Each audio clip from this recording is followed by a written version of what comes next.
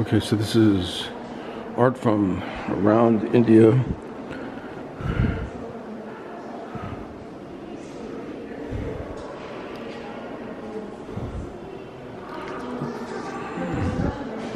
Around 3rd century AD.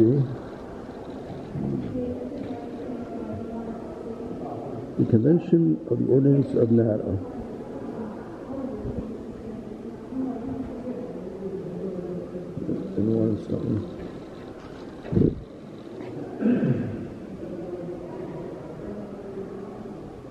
It's extensive art, a lot of folksy.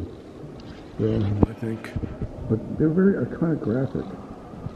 Not very fluid flowing like from later Western art. Almost like Byzantine, perfecting a single image over multiple generations over and over again.